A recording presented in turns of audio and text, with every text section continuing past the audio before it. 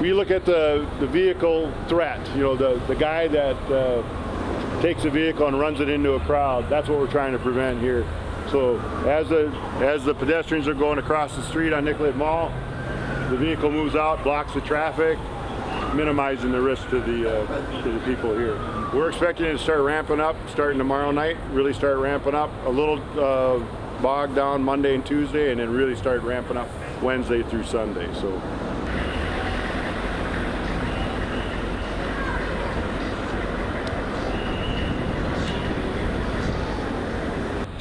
Right now, we're just settling into the mission, getting prepared for the crowds later in the week.